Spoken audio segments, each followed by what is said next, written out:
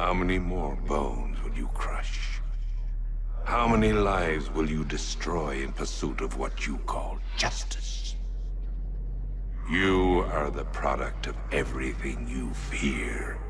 Violence, darkness, helplessness. All that remains is for you to watch as I drag your beloved Gotham into oblivion.